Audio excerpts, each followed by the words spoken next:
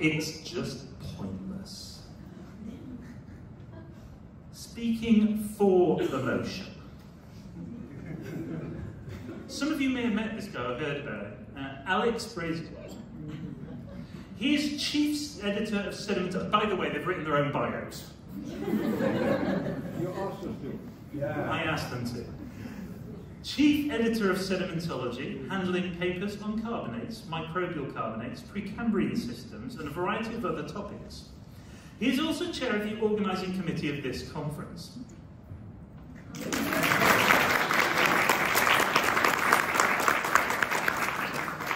This means he now knows things like the maximum capacity of a forklift truck at the University of Aberdeen, how to ch- purchase a big TV through the university's complex finance system, and what's on the menu at the conference dinner. He has some familiarity with mud, both modern and ancient, and in the classroom and at home, and he thinks we should probably be better off without it. Alex will be speaking first. Alex, the floor is yours.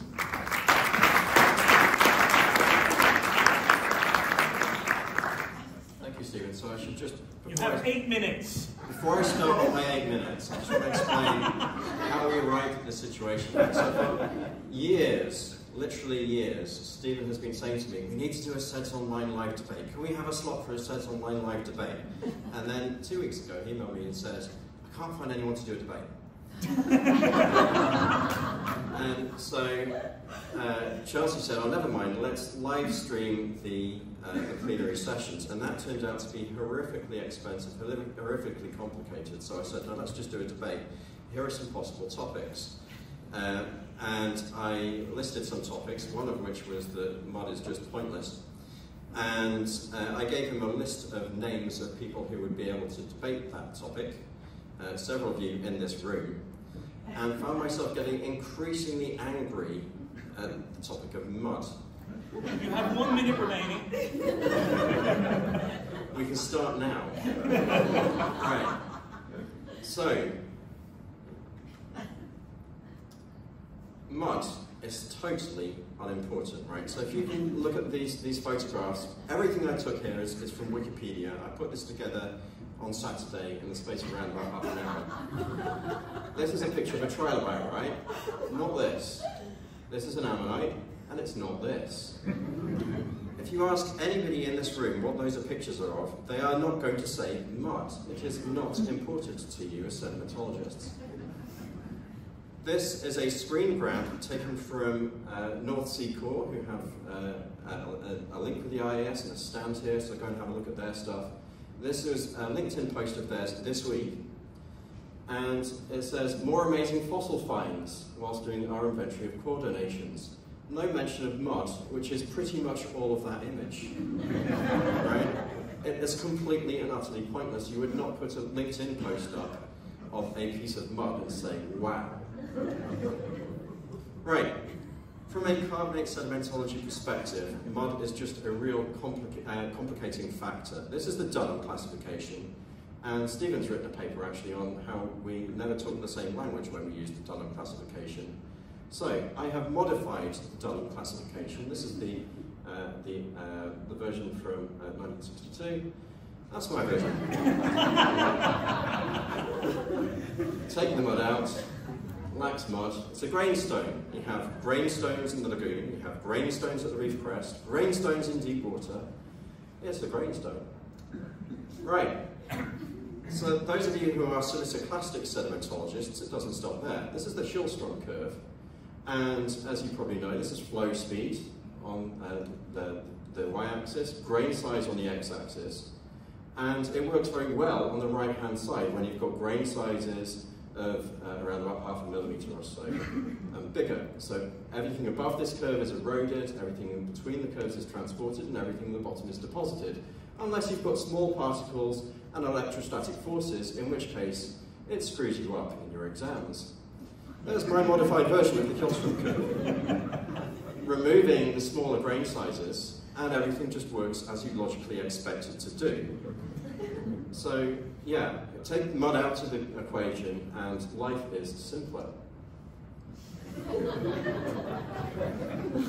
Google mud and pony, and you'll get many, many images like this. This poor pony had to be rescued from a muddy field. There are many worse than this, right?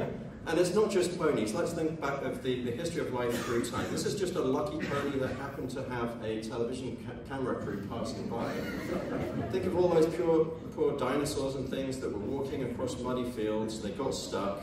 And nobody came and rescued them, and they died because of mud. It's horrible stuff. Right. As uh, sedimentologists, we put all kinds of things in our mouth to squeeze them between our teeth and see what the grain size is. If, if, it's, if it's not mud, you don't need to do that. I have put all kinds of yellow stuff that was definitely not mud, um, black stuff that turned out not to be mud. I wouldn't have had to put that in my mouth if we just agreed not to have any mud. I don't want to dwell on that. These people playing on mud. As you can see, the goalkeeper is already down when the ball leaves the foot. He's not in the way it's a goal. John? I agree. Right? I agree. Where does mud come from? Well, it comes from the emotional and physical distress of other rocks. If you take a bit of granite and you cry on it, then you'll break the feldspars down, and that's where your mud comes from. Right? There are papers from people like Chris Perry showing that actually a lot of mud, as John will probably say, actually comes out of the back end of a fish. It's not pleasant right? It's not nice for the corals, all that coral destruction that these fish are doing to make mud.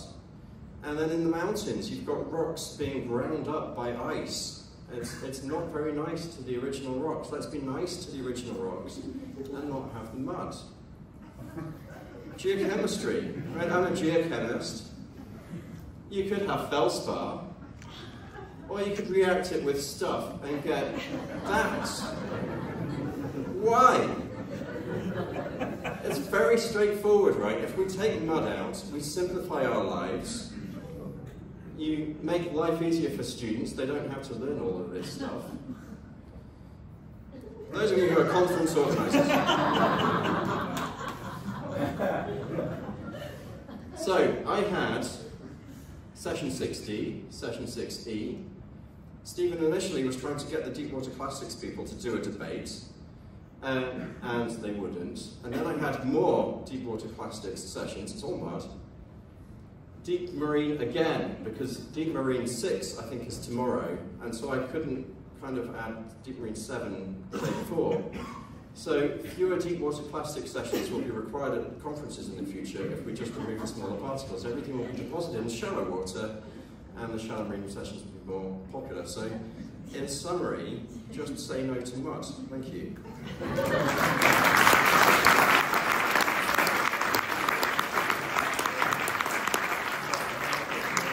monitoring to understand turbidity currents in the mud, oh, mud, mud-rich Congo submarine fan, with a focus on how these flows transport and bury particulate organic carbon. Meg completed her PhD at Bangor, North Wales, using laboratory uh, experiments to investigate the fluid dynamics and deposits of clay. Is that another word for mud? Clay-laden turbidity currents, having been stuck in the mud for her whole career. Oh! Meg will be arguing that this is the best grain size of all. Hmm? Meg.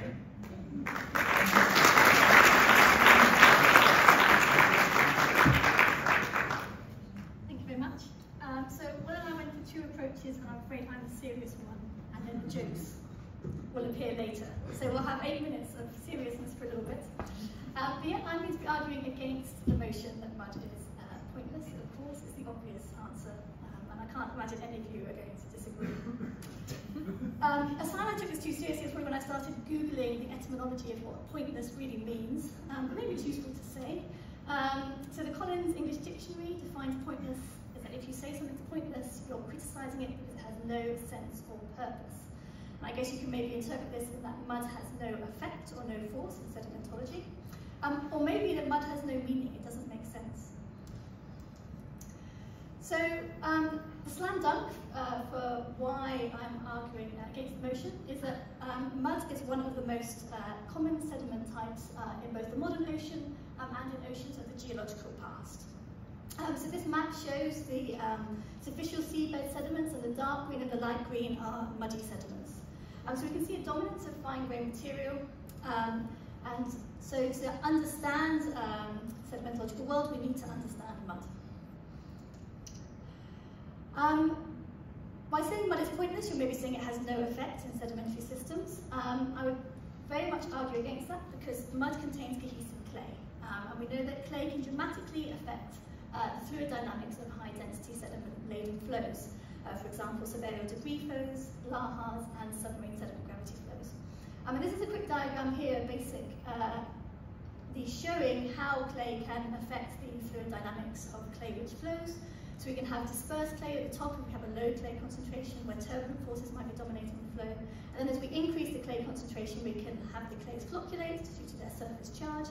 Um, and then get to a situation where we have a clay gel where cohesive forces are dominating the flow and we have a lack um, of turbulent forces.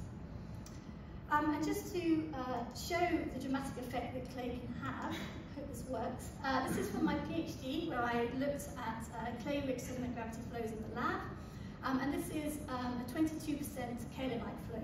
And what I did was I would slowly increase the clay concentration and see how that affected the mobility of the flow.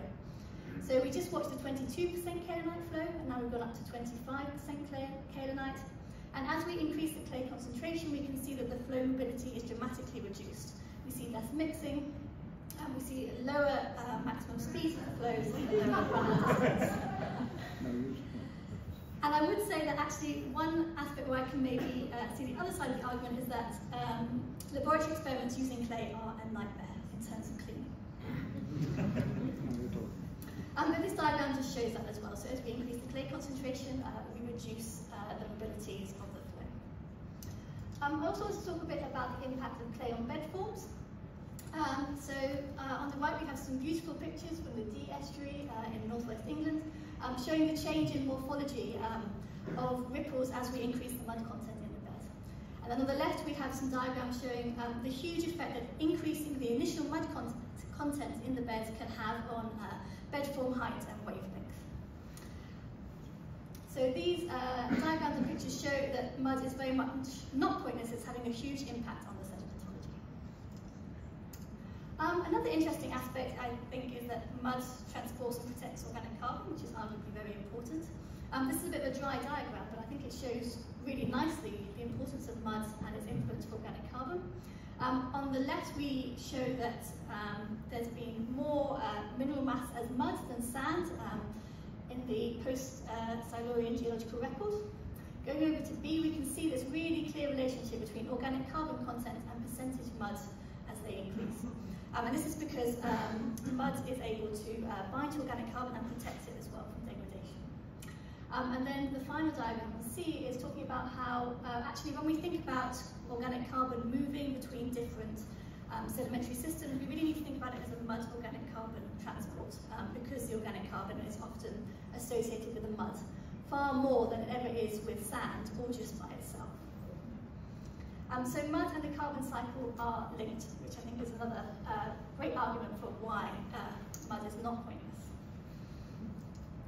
Uh, we get an even bigger picture. I think mud and climate change are linked. Um, I think this perspective comes from a physical geography perspective. Um, I'm based in geography department, and if I talk to my colleagues who are interested in mud transport, this is what they think of straight away. Um, so anthropogenic climate change is producing marked changes in many sedimentary environments, many of which are dominated by mud. Um, for example, deltas um, and high mountain landscapes.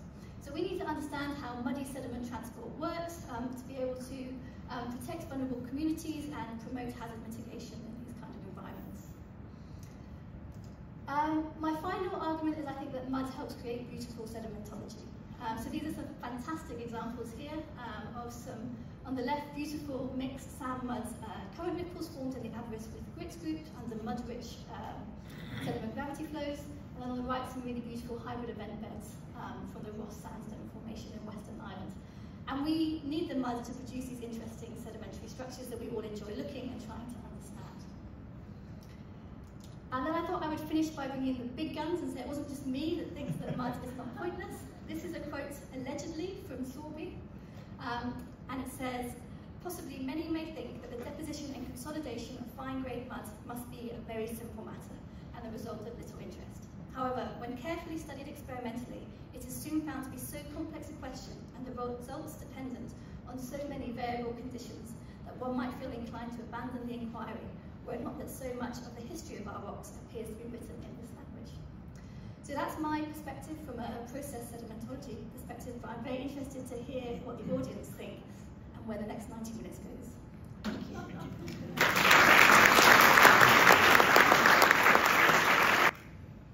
Thank you, Meg.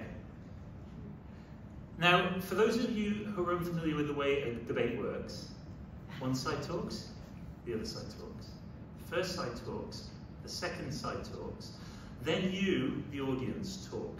So start thinking. Do you agree with these guys? Or are they talking out of their mud?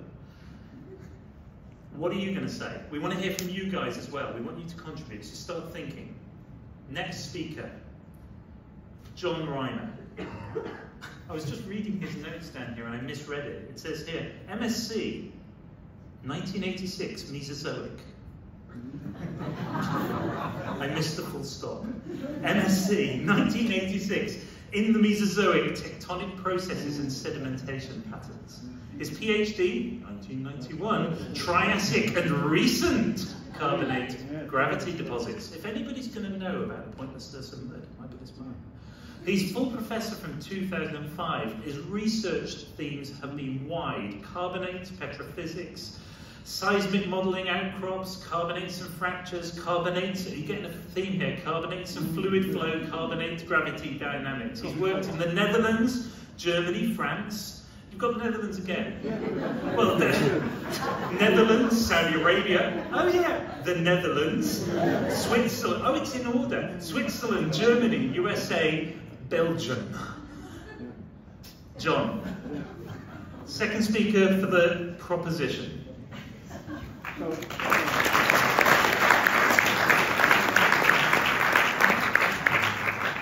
this is not a mugshot from uh, some kind of offense, but the call for the uh, presentation came in pretty late, so I asked my wife to take a short snapshot with my new glasses and a new haircut last, last Wednesday, so she did a good job, I think. Lloyd's motto is just pointless. It's true. When you look at real as crystals in carbonates, certain crystals have no point, so they're pointless. Other crystals have a point. They're biota. So when you look at muds and carbonates, you don't know what you're up to. Is it something non-biological? Is it biological? So what's the use of mud? You don't know what you're doing. When you, so what to do with mud? So why is mud not comparable to mud? Why am I discussing mud anyway? Is mud equal to mud when I go back into time? Is the mud that we talked about making some kind of structures in clastics? What's clastics? Carbonates. You don't know what you're doing. But you go to a tropical stuff, right? You see that muds are some kind of climate signal When you go to the Bahamas. When I go to microbes, they're making slopes. So when I look at muds, I don't know what I'm doing. When I look at the carbonate factor in cool waters, I'm actually losing the mud. So every time I'm in a certain carbonate surrounding, I need to realize where am I, what kind of mud will I encounter. So it's not as simple as in clastics. We have to think in carbonates. so, when you go to the tropical ones, right, I listed about five different types of mud I can produce in carbonates. So when I ask you to analyze a mud, I need a lot of machines in carbonates to show what kind of mud am I dealing with. Is it stinky? Is it normal mud? Is it, is it just a precipitate, like a whiting? I don't know. When I go to, here's some nice comparison that uh, Purkis made on climate cycles, producing mud, and when you go over to the uh, slope, you see that these climate cycles are reproduced. So mud is mud with a certain signal. But when you look at this core, there was a core from the slope, it's 37.5 meters of mud. Can you imagine that you, Sven Roth, he was a PhD student, I opened up the core, this guy looked at 37.5 meters of mud. I think we went drinking for a beer. because he was so depressed that he had to do a PhD on mud. 37.5 meters, so mud is not mud. When I look at the muds in microbial systems, look at these thin sections, right? All these black dots are some kind of mud. Depressing. you look here, there are muds I can stand on. These are microbes in Lake Clifton. So a mud is not a mud. And these type of muds, they make larger grains, and suddenly it's a sand. and with these sands, I can make very steep slopes. So a mud in the tropical one, and a mud in the Triassic one, what's a mud? And I go to a sea factory. Here's the southern part of Australia. Larger scale seismic profile. All the mud is moved out. When you look here, there's aragonite, that's the mud. When I go to the real rock, the mud is gone. So another system, no mud. So what's the use of mud? Nothing. So to answer all these questions, you know, when I look at mud, I need to know where I am, what time. Is one mud comparable to another one? No. All the muds are different. So you talk about a mud being very explanatory, bullshit. so is mud equal to mud when I go back to time? No. I need to know where I am. It can be biogenic, it can be microbial, it can be erosional, it can be diagenetic. Processes vary to time. So mud is always adapts itself to its environment, to its time. So you look at the mud, turn away. And even to uh, make it more depressing, when you go to lacustrine carbonates, uh, this is an example from Lake Clifton, and when you talk to Paul Wright, he will tell you muds are not muds. They just produce some. So, but other studies like Monica Sanchez-Roman and uh, as I've been showing you, small crystals can be made by bacteria. They make muds. They make small crystals so much. so it's all the fault of my bacteria. So muds are not muds. What's the use of mud? No. That's it. It's just pointless.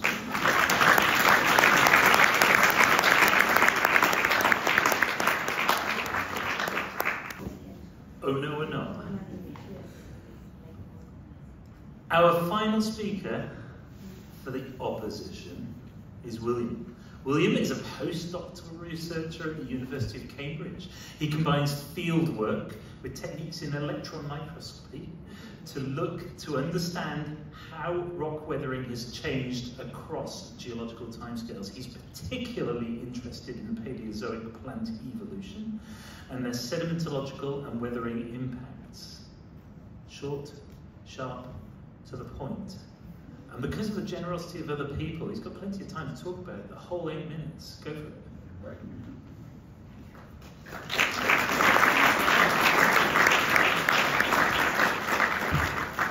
Yeah, I'd like to introduce you to a Muddy Fun Day. So, Muddy is a magical composite clay material. He lives in the Bay of Fundy and he's come to life and he explores grains, bed forms, other animals, organisms that live in the Bay of Fundy, and I think we'll show you that mud is pretty important. I'd also take the opportunity to say, I don't think there are any children's characters based on carbonate grains just yet. no, I even put it past Alex. That is frightening. Is that enough? Should I get it? I think this might be Alex's next big project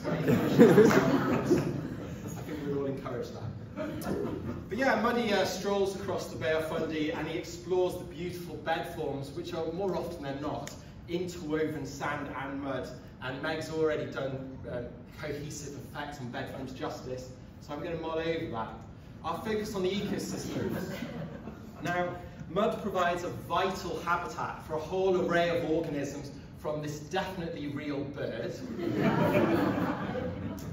all the way down to invertebrates, all the way down to microbiota. Mud is fundamental to all these ecosystems. Alex, he'd rather this bird be put down. but, you know, it lives on through mud. Now, we're all here in IAS and we will agree that Alex has done a fantastic job organising this conference. But you have to remember, a lot of you, he doesn't want here. This is everyone who mentioned mud in their abstracts.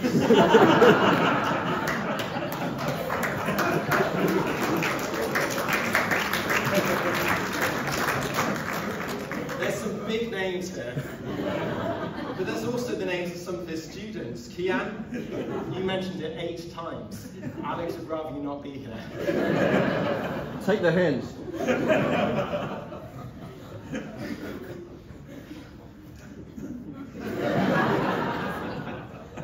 I mean, in fairness, we'd be done by now if all these talks were gone. But they're not. They are interesting. Now we're also showing some pretty sort of grayscale, average sort of images of uh, carbonate muds by John. But those, these fine-grained SEM snapshots, they don't need to be dull. Add a bit of colour, a bit of false colour and a bit of EDS mapping. A whole other world appears when you start looking at clay-grade material. All these greens here, these are beautiful illites. They were probably smectites originally. Maybe they've got authigenic origins, maybe they've got detrital. We can get in there and have a look at them. By the way, a lot of them do have points and edges, you can see them. Um, there's a whole other world that opens up when we look at mud at the grain scale. And it's also quite important. It's quite important at trapping organic matter and trapping in the, the, permeability effects and actually retain organic matter and enable the preservation of a lot of the fossils that we love and know.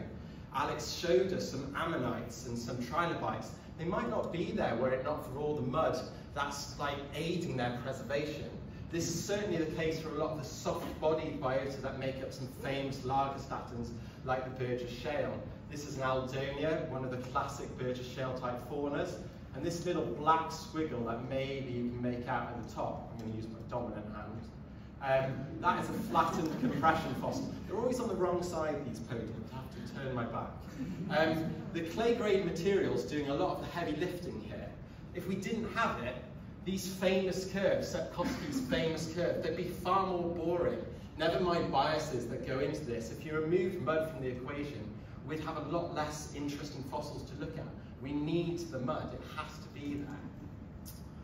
Sanjeev took us to Mars yesterday, and I was a bit hurt when he said he preferred sandstone to mud. But the mud's what everyone's after. The mudstone is the gold standard, the astrobiological material that we're all after because of the known ability to actually retain organic matter. It's what we're looking to bring back. This is a monstrous paper uh, published in Sedimentology with no less than 40 figures showing these Martian muds. I don't know if there are any editors of sedimentology here who enabled so, you know, I deserve everlasting gratitude for agreeing to publish a manuscript of this extraordinary length. Were you handling that one, Alex, or was that one of your colleagues? Uh, Jaco, probably. You were, you were involved in that. I'm pleased to know that. Yeah. This is um, a few IAS delegates. They're wasting their time at this heterolithic alluvium up in the northwest Scottish Highlands. But we've already said, mud gives us beautiful bed forms. It also gives us beautiful architectures. It enables us to see wood through the uh, trees through it enables us to see, it enables us to see architectures that tell us about plan forms that maybe we wouldn't have if we just had a record of sand. We certainly wouldn't have it if we just had a record of chert. I mean, that would be terrible.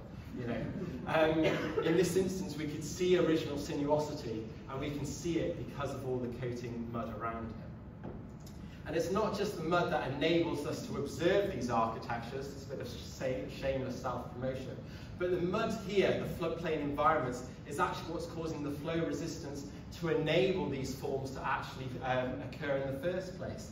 The mud in this system up in the Northwest Highlands it's not being bypassed off to the oceans, but it's being confined within paleovalleys. It's building up and creating a, a stable landscape, a cohesive landscape that's coned by sinuous channel belts, We can tell this entire story because of mud. We need it. Without it, it'd be six kilometres of braided alluvial sandstones that take it from me, take a lot of work to get any information out of.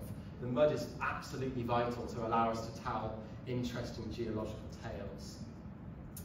On a basin scale, mud's still important. It's often the marker beds we use to see large transitions in climate or transgressive and regressive cycles, the extrinsic forcings that superimpose on all the small-scale intrinsic work that makes up our outcrop. The mudstones are the marker beds that we need and we use. We couldn't do without them. And if I jump to a planetary scale, mud can also serve as a fantastic archive for evolutionary change. It can tell us the history of our planet and intricacies woven into it that no other lithology can do. So this graph on the left, this is all, each one of these points basically plots how much mudstone is within a particular alluvial succession at a particular moment in the Paleozoic. And through the Cambrian, it's a pretty negligible proportion. It was a sadder time. But after the Silurian, Petrolithic alluvium really arrived, everything got far more interesting. And that's telling us the story of how plant evolution changed the game. It changed the way sedimentary packets were organized, not only by creating flow resistance, by binding sedimentary uh, substrates and making them more resistant to erosion, aiding the preservation, thank you plants, but also heightening weathering intensity, accelerating the hydrological cycle, changing soil water chemistry, and stabilizing that physical weathering environment. It basically granted us a lot more time to create mud. All right, we have plants to thank. So any of you that have potted plants or a garden, all right, you need mud. Without mud, you'd be living in a barren, well, you'd be living in this conference centre, basically. okay. Plants are the dominant biomass on Earth today. They're interwoven with mud. The two are the same. If you like plants, you've got to like mud. Am I out of time? You are out of time. I'm done. Thanks very much.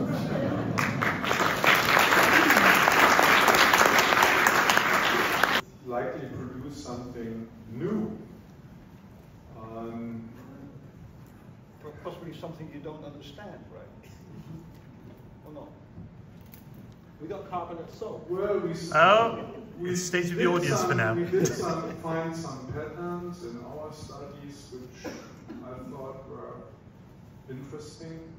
Anyway, and um, uh, another thing uh, I remember is when I was on a field trip years ago with uh, Bob Ginsburg in, the, in Florida Bay, looking at modern carbonate mud, you know, serious discussions on carbonates, important researchers, you know, no-nonsense discussions. And then when we encountered the warm mud, you know, everybody suddenly turned into a kid, you know, starting uh, wallowing in the mud, fighting with mud, throwing mud at each other, and so on. So mud had a real nice effect on people, you know. Okay. Thank.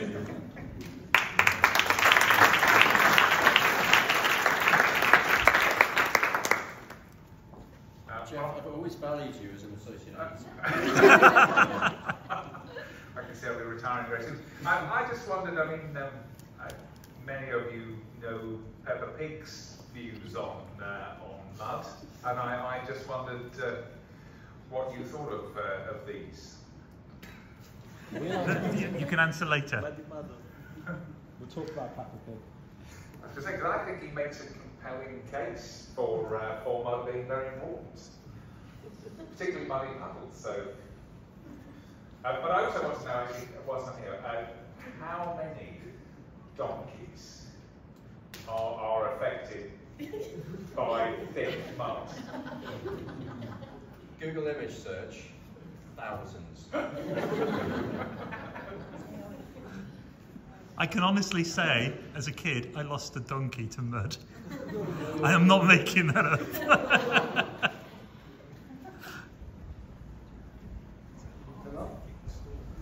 I would make the case that mud is pointless. No, let, let me rephrase that. Mud is pointless in carbonate environments. Because if you consider calcium carbonate only, it's not cohesive. You need horrible biology to make it cohesive. That's not true. You, you, you, have, you have to have biological snot to make it cohesive. In such clastic environment, you don't need that.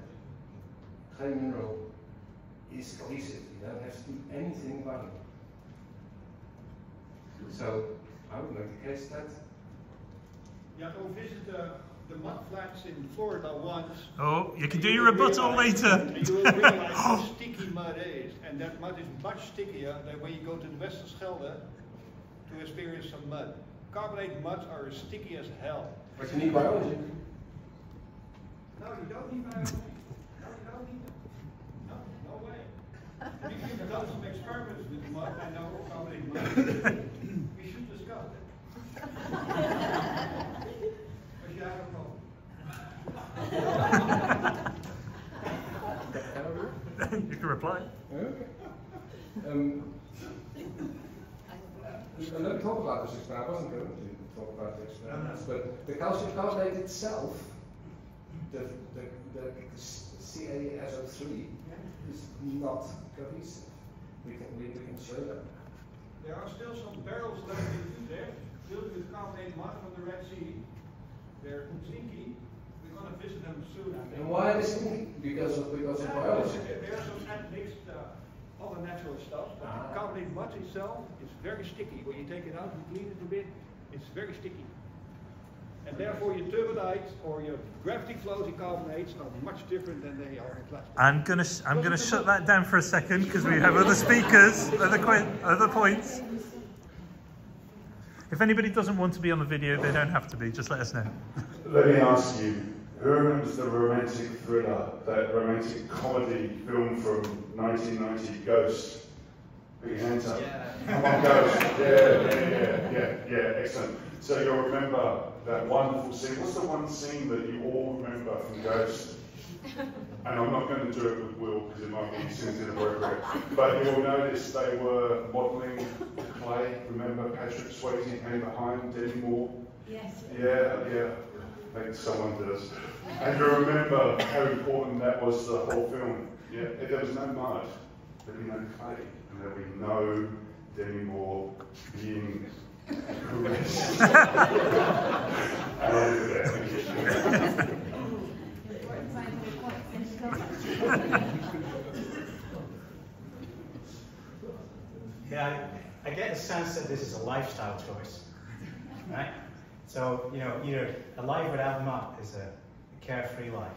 Uh, it's a simpler life.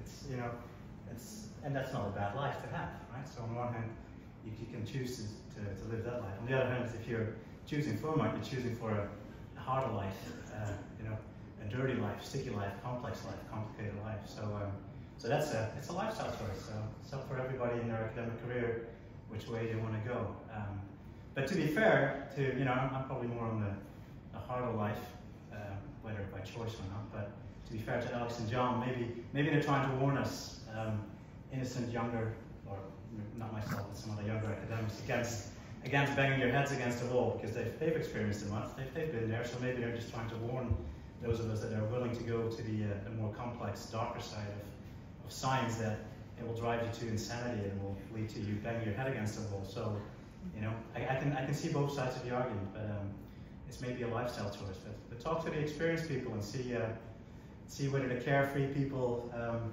are more your kind or whether it's the, people that, that are uh, verging on the side of insanity, perhaps. but perhaps that's something that you enjoy doing. So it's uh, it's all up to you. So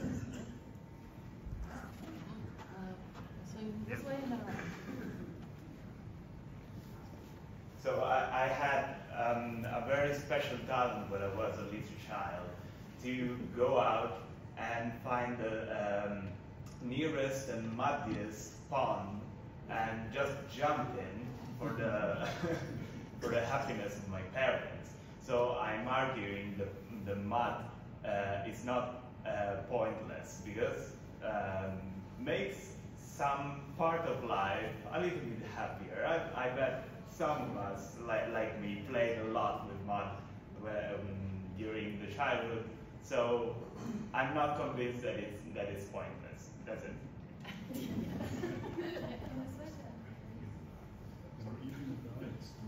So first, first thank, thank you for the great talks. Uh, I enjoyed it from all of you. So I, I had the feeling that uh, Alex and John had hard times to argue against their conviction. uh, the, the fact that uh, something is complex is making it more exciting. You know, the older from us, the faculty members, we are taking students for five years uh, to get to the master, eventually four or five years PhD uh, to show them how, how the world is complex and arguing uh, that the, complexity is bad is, I think, uh, against their conviction. Uh, conviction. You are convinced that uh, math is important. And I enjoyed a lot Alex's presentation in, in particular because this was the most entertaining probably, but uh, scientifically it was uh, forced. I, not,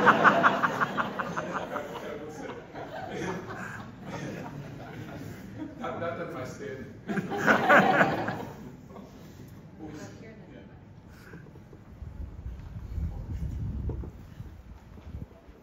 So I have questions for both Will and Alex. So Will, if the uh, seabirds live so well in the mud, why do they need wellies? And uh, Alex, you made a big deal of how the donkeys are getting stuck in the mud and how this is a terrible fate for them and that's why they should away with mud. But uh, the same could also be argued for quicksand and how dangerous that is in all of our lives. So, does it seem that sand should also be abolished and we should live in a purely conglomeratic world? I thought you were going to ask what the point of your PhD on was. you can reply in a minute. Yeah. We have another point from the audience? No, yeah. Just, uh, I, I want to stress again the role of mud in romantic relation, as you did with the ceramic are made by mud. When you're squabbling with your partner, you need to break ceramic to distress. Mud will save your relation.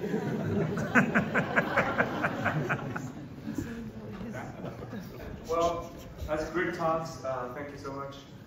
Uh, you guys make me so confused. What is mud? As far as I learned from the textbook, mud is a mixture of clay and silt. Is that right? Or no? No. no? What is mud? Like a mud rock or mud stone is uh, consists of clay and silt. No, no, silt is. If it is clay, it's pure clay, that's clay stone. And if it is a silt stone, that is a silt stone, right? It's less than four microns. But anyway, I, what I want to say is that, you know, mud is kind of, you know, John said that his student, uh, they, they felt depressed. And this morning I give a talk uh, when I see the micrite, like layer by layer of micrite. I almost shoot myself because, you know, there's not much to say, right? It's very difficult. And also, uh, later on, I started, I started working on geochemistry. And mud sometimes is very, uh, very tricky material, you know, for geochemistry. They are very fine grained. It's very easy to alter, right? You want to use the grainstone, you want to use the, the, the marine cement to record the marine, the seawater signal, right? So, you know, kind of um, pointless uh, I would say. You know, but we, we can't live without it, right? So, yeah. There's another hand up. You're welcome. Thank you so much for this debate. It was very interesting. Um, coming from the paleontological perspective as a taphonomist, uh, I would totally agree in saying that mud complicates things. It's very complex and it's very annoying. And sometimes it can be also very boring to look at when you're looking at just meters and meters of mud. But although it's complex, and sometimes it can also be very boring. It preserves the most complex life we have on the planet. And wouldn't the rock record actually be very boring if we weren't able to look at all this complex life? Mud is absolutely the catalyst for soft tissue preservation. 80% of the planet is made from, in, from animals entirely soft-bodied. So if we didn't have lots of copious mud and fossil record, we wouldn't actually understand most of these paleo environments and complex life. So I have to go with the argument that against that mud is uh, pointless. Okay, well, all I was bringing the perspective of the taphonomists. Let's bring the perspective of ichnology, some, somebody studying trace fossils. So I, I, go and look at mudstones, there's a huge variety of things. It's actually making my life really quite exciting. Uh, I can count tens of different types of trace fossils, but now I'm going to look at the database looking just at sandstone. So I, I go to the Cambrian, I put, let's say, Skolithos, then I wait for several hundred of millions of years, and I'm adding Ophiomorpha in the Mesozoic, and that's, that's it. So my life would be much, much simpler, but really less interesting.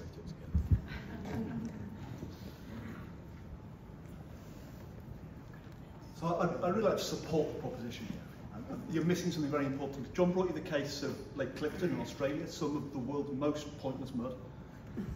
But he didn't tell you how pointless it was. When I got that into the laboratory, I could see it had some lovely sand grade aragonite and some mud. Got it onto the XRD, all I could see was aragonite. The mud was entirely amorphous. Can anyone in this room name another type of sediment that is so ashamed of itself it hides from x-rays? we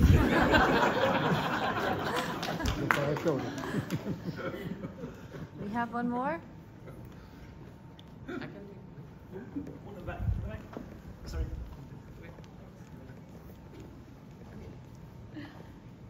Okay, so this is a very quick one, but I'm going to appeal to the ego of field geologists.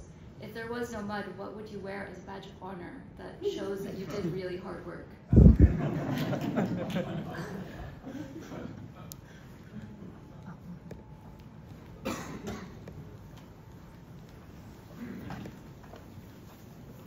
Okay, so I come from the oil and gas industry, and um, uh, when we drill in the subsurface, mud complicates things, right?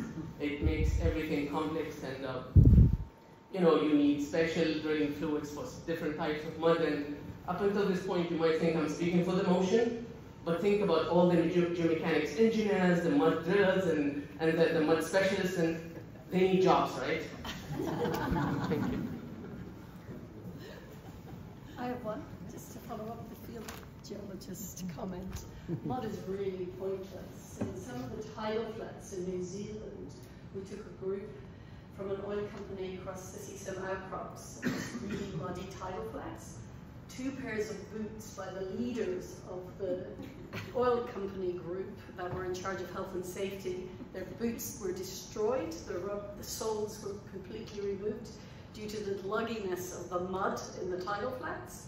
The people in the wellies, or gumboots as it is in Australia, they were stuck, shoes were left abandoned in mud flats. Everyone was covered in mud back in the vehicle and um, had to spend at least an hour washing themselves before getting into the rental vehicles. Mud was a real disaster. Boots for future geologists to explore in another million years or so, huh? Um, I think we're yeah? there. We're going to have to move, move on. on? Oh, Okay. we're be thrown out of the building. Thank you guys Um, for that participation. I- yeah, terrific. Yeah, absolutely. Thank you, everybody. For, there's some really strong opinions in the room. And I've learned some new opinions. So the proposition, please, to the front.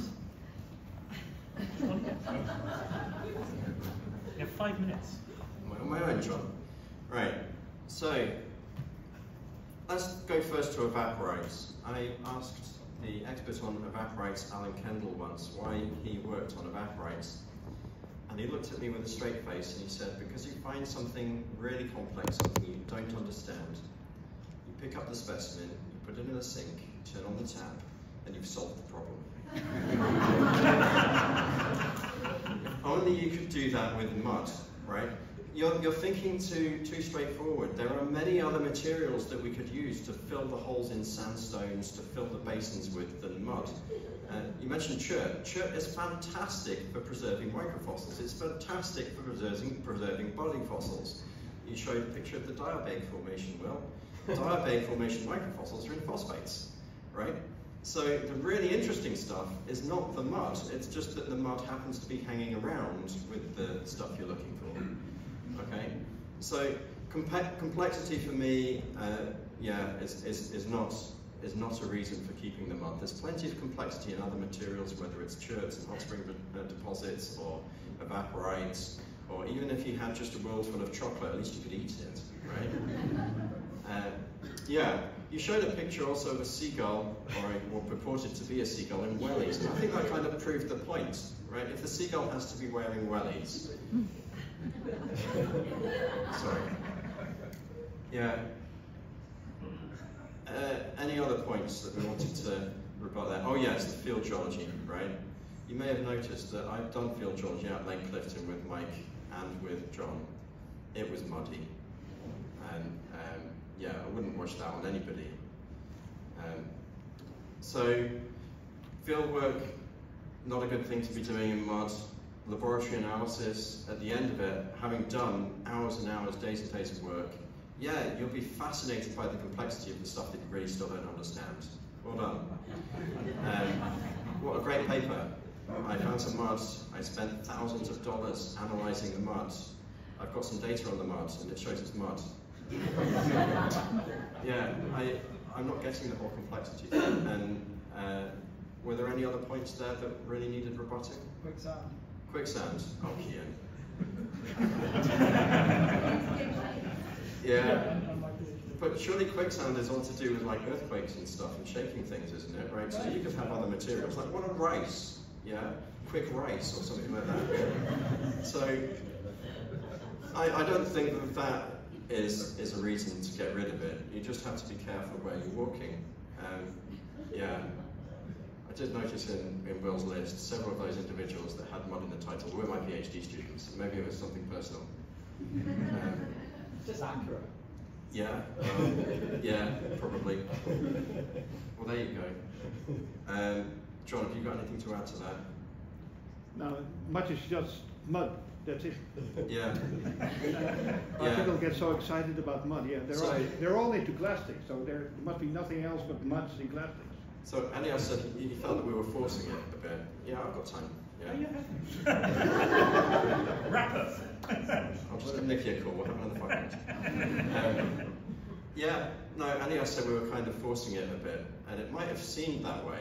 Um, but I, I think that's, that comes from, as he said, probably years of experience mucking about with muddy rocks and just wishing the mud wasn't there because it's such a complicated thing. The world is just simpler without it, and so let's just get rid of it. Thank you.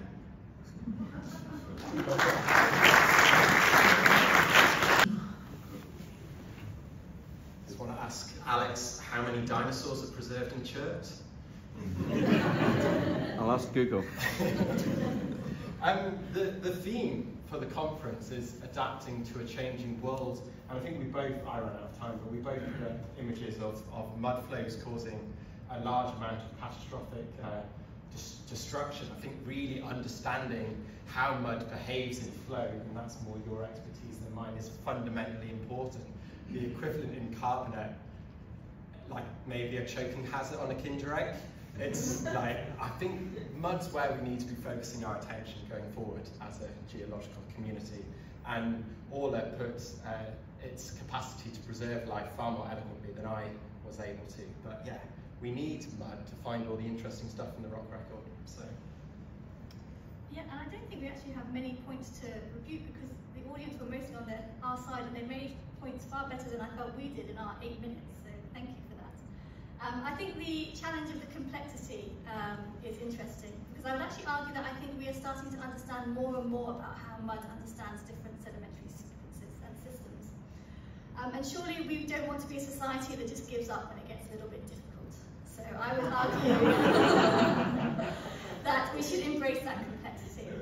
And I think the only other discussion was the challenge that mud can make from moving over different environments, such as the tidal flats. Um, I would argue that mud is trying to help you have a full body workout whilst you're completing your uh, geological fieldwork. Now, there was a group in the 70s called Mud. They had, they had one vocal number.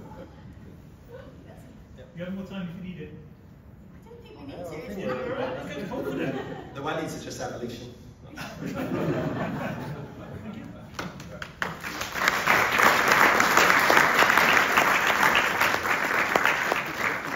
I did attempt to make notes, I'm just to delete them. Um, Right, okay, at this point, we uh, it's voting time. Uh, the proposition is that mud, it's just pointless. If you're in favour of it, you will raise your hand, not quite yet. And if you're against it, you will raise your hand. And we'll also do an abstain. That means you're on the fence, really can't decide. They haven't made very good arguments. So, um, we have two counters. Please count us. We are analog. Shall we close your eyes? Yeah, go on. All right. Okay. So, raise your hand if you believe that mud. Oh no, no, no, no! You can open your eyes. I was, that's not what I was saying. Um, raise your hands if you believe that mud is pointless. You believe in the motion. Raise your hand now.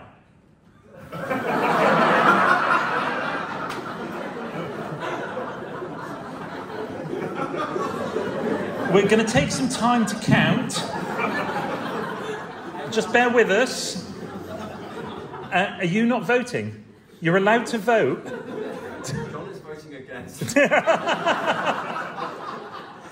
So now keep your hands up. We need to. Oh, uh, have you finished? Okay. Um, okay. I think I think I've got the number in my head. Um, raise your hand if you disagree with the motion that mud is just pointless. Raise your hand now, please. Okay, keep your hand up so we can count. No.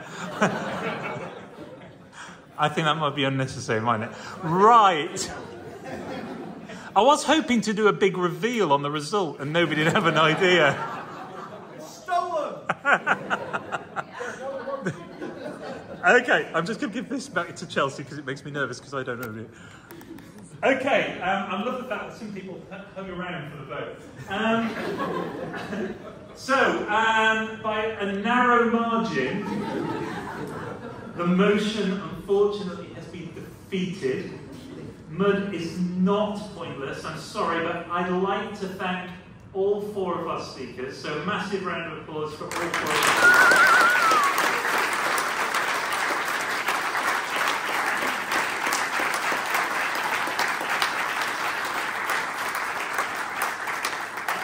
I'm going to pass an extra thanks to Alex for letting us do this bit of lunacy. Um, Alex, thank you for, for scheduling this and actually for picking it up at the end for us because uh, we, were, we were all a bit, um, oh, what did we do now? Um, but thank you for that. Um, I'd like to thank all of the SEDS Online team that are here and that help us out out there. And I'd like to thank you, the audience, and also a little, um, if you want to be involved in SEDS Online, speak to one of us. If you'd like to give a webinar, speak to one of us. If you've got an idea for a great debate, a silly one, a serious one, please speak to us. If you've got an idea for a student webinar, we do those twice a year where we have four students on a topic, students from around the world. Everything we do is free because everything's sponsored by the IAS. The IAS gives us a little bit of money each year, and we then, it's a volunteer community, we just do this for fun um, for the rest of the year. And um, please step forward, any ideas, you know, eventually we are going to run out of ideas, so we really would like help from the community. I'm hoping you all agree that this kind of debate, while it can be fun, it does actually get you thinking. Um, there is room. I want you to all, especially early career guys, challenge everything that your supervisor says. Brilliantly done. Um, challenge them, challenge them, challenge the textbooks. It's only by challenging that we're going to move forwards. So please challenge them. Always do it in a respectful, friendly manner. But uh, thank you, everybody. That, I think, is a wrap. And uh, if anybody really didn't want to be on uh, filming, um, please just let us know now and we'll ensure that we delete you from the video. Put your Mickey Mouse head on okay. All right. Thank you, everybody. Uh, that's a wrap.